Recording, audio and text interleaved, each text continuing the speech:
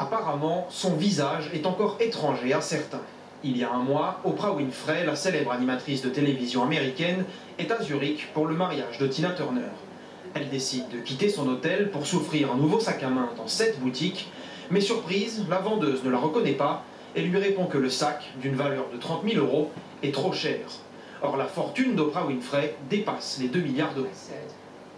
J'ai insisté, je lui ai dit que je voulais vraiment voir ce sac, mais elle a refusé.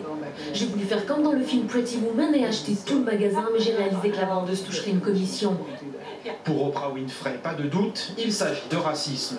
Impossible, répond la responsable du magasin qui parle d'un simple malentendu et assure qu'aucune sanction ne sera prononcée contre l'employé.